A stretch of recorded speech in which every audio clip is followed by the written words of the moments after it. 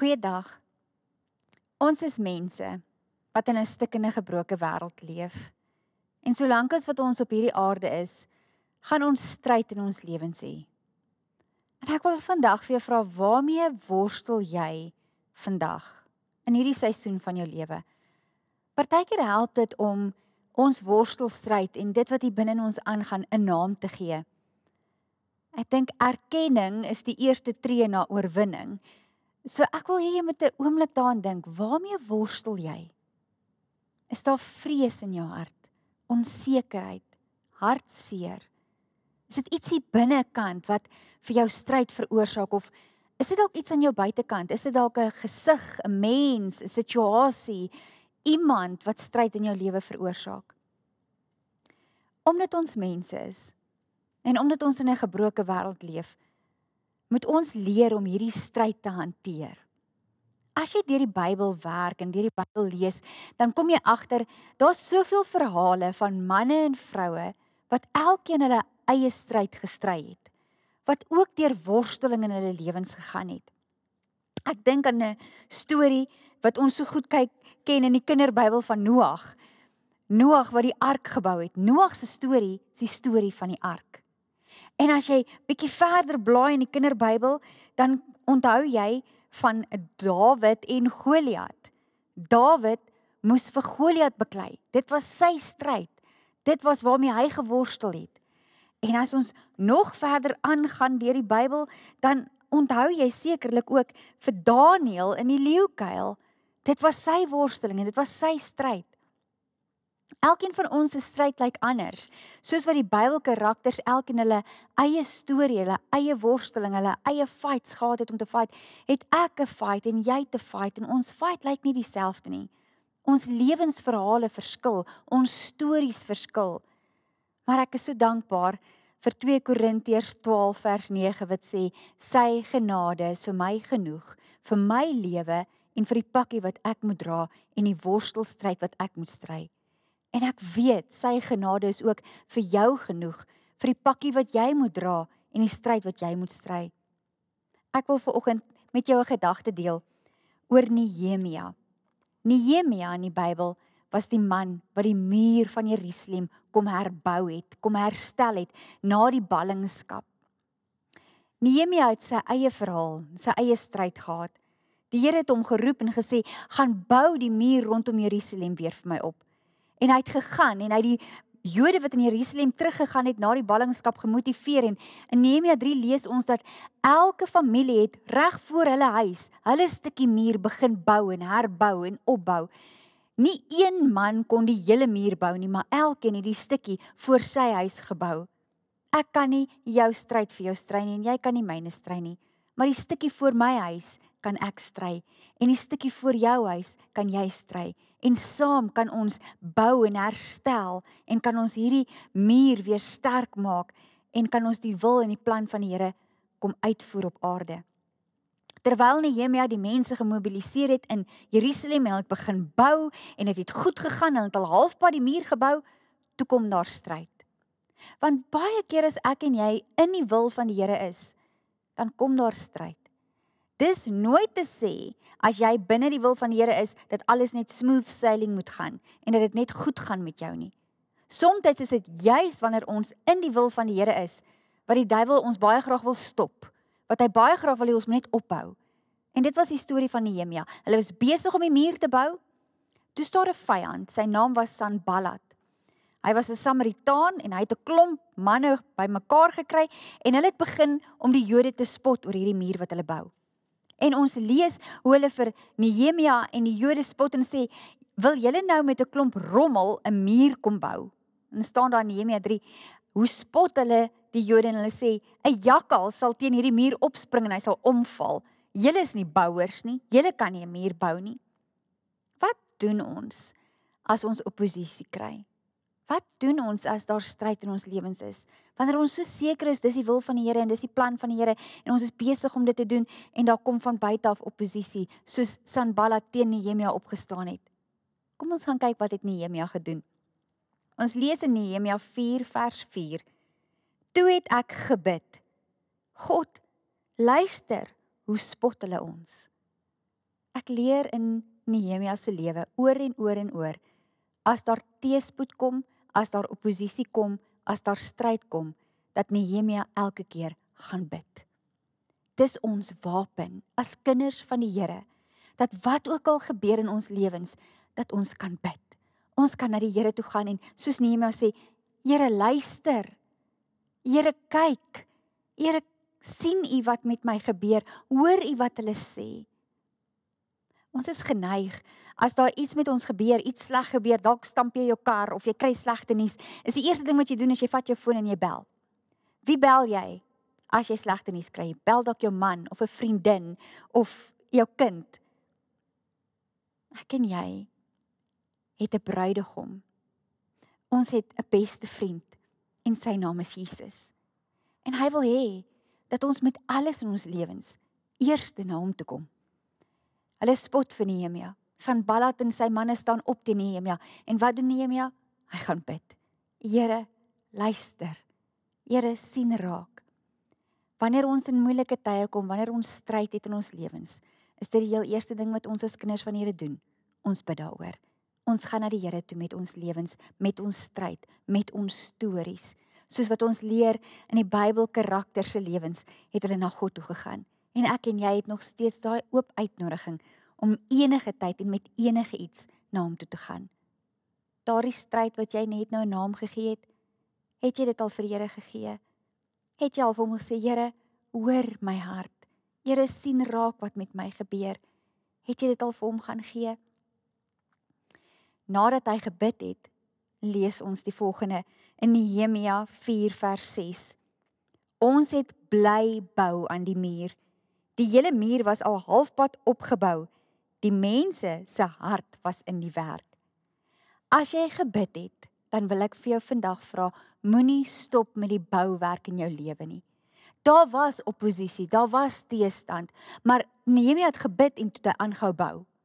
As ek en jy gebid het en ons het ons saak na die Here toe gevat, ons stryd vir hom gaan gee, beteken dit nie nou moet ons gaan sit nie. Hou aan bou. Hou aan bou in jou verhouding met die Here. Hou aan bou in jou verhouding met mense. Hou aan bou in jou lewe. Moenie ophou bou nie. Al wat die duiwel wil hê, is dat jy gaan sit. Dat jy nie meer verder werk aan jou verhouding met die Here nie. Dat jy nie meer bou aan jou lewe nie. Nehemia het gebid, maar het aangehou bou. En dit is vir my so mooi wat in hierdie vers staan, want die mense se hart was in hulle werk. Is jou hart nog in jou werk? Is jou hart nog in jou verhouding met Jesus? Dien jy hom nog met passie? Is hy nog jou eerste liefde? Mag die Here ons harte weer aan die brand steek. Dat ons harte weer vuurwarm sal klop vir Jesus. Dat ons alles in ons lewens na hom toe sal vat. Dat ons sal bid oor alles. Filippense 4:6 sê: "Maak al julle begeertes aan hom bekend."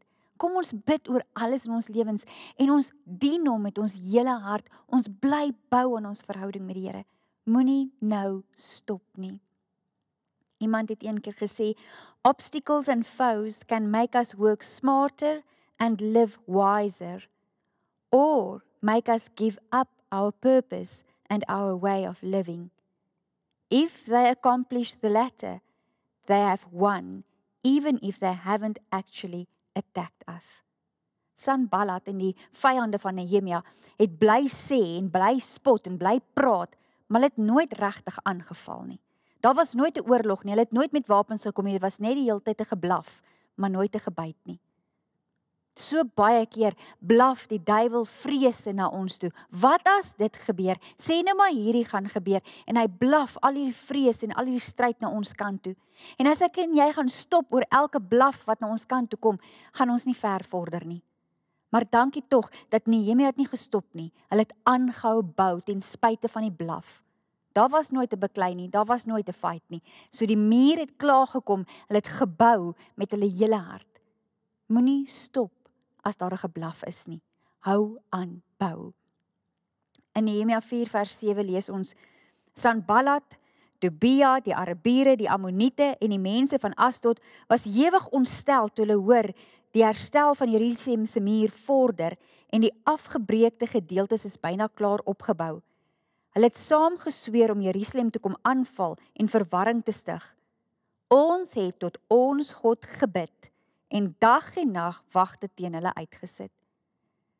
Wat ek en jy moet doen is bid, bou en waak. Ons moet wakker wees. Want daar is 'n vyand wat soos 'n brullende leeu rondloop om te kyk wie kan hy verslind. Ons moet gewapen wees met die woord, wakker in ons gees. Ons kan nie nou 'n geestelike vakansie vat en ons geestelike lewe laat rus nie. Dis juis in ons strydtye wanneer ons moet sterk staan, aanhou bou, beraad wees teen die aanvalle wat na ons kant toe kom. Moenie toelaat dat die blaf van die wêreld vrees en angs in jou lewe inbring nie. Nehemia het gesien hierdie vyande wat almekaar praat en blaf en dreig, het sy mense begin bang maak. En hoor wat is sy raad? As jy bang raak, as vrees in jou hart wil inkom, wil ek graag vir jou lees wat skryf Nehemia 4 vers 14 tot 15 in die boodskap vertaling. Ek het gesien dat die mense benoud was. Daarom het ek hulle leiers en amptenare bymekaar geroep en vir hulle gesê: Moenie vir daardie slegte mense bang wees nie. Dink eerder hoe asemrowend groot en magtig die Here is. Veg dan met alles in julle vir julle families en julle huisgesinne. Toe ons vyande agterkom, dat ons weet van hulle planne om ons aan te val, het hulle besef dat God dit in die wiele gery het. Daarna kon ons voortgaan met ons werk aan die muur. In plaas daarvan om bang te wees, sê Nehemia, kyk liewer na ons asemrowende magtige God. Wanneer vrees en die geblaf van die wêreld jou wil angstig maak, sit jou oë op Jesus.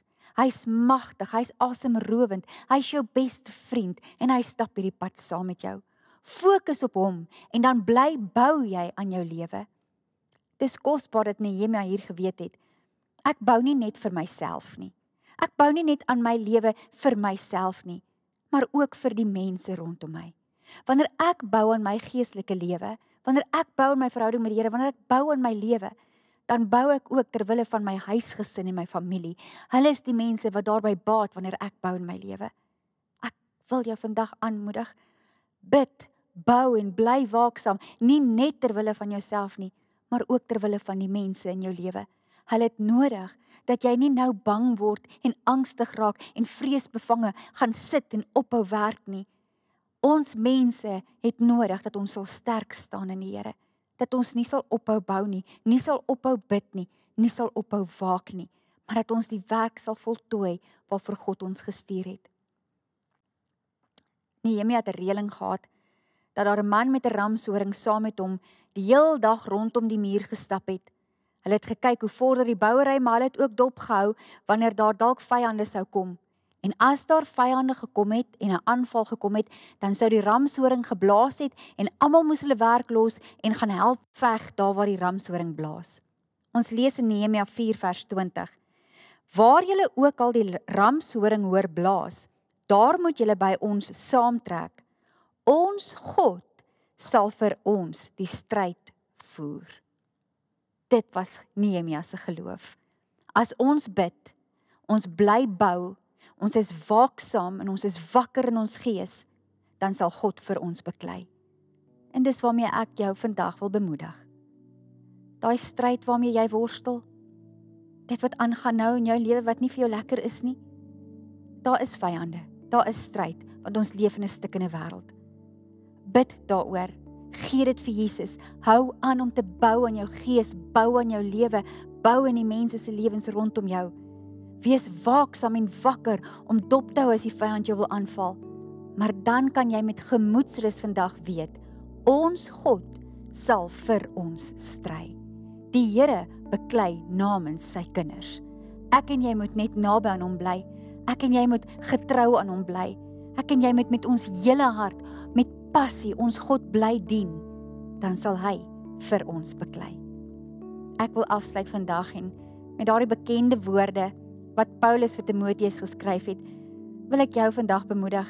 Kom ons bou, kom ons leef met passie sodat ons saam met Paulus kan sê in 2 Timoteus 4 vers 7: Ek het die goeie stryd gestry.